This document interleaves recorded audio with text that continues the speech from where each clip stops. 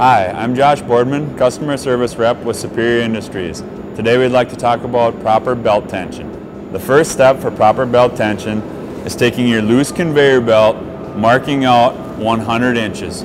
From that point you want to go to the tail end of your conveyor and start tightening both take-ups at an equal amount until that original 100 inch mark has stretched to 100 and a quarter or to 100 and a half. From that point, you should be right in the neighborhood of proper tension belt. Another option for checking for proper belt tension is using your return rolls. At Superior, we have a 10 foot return roll spacing.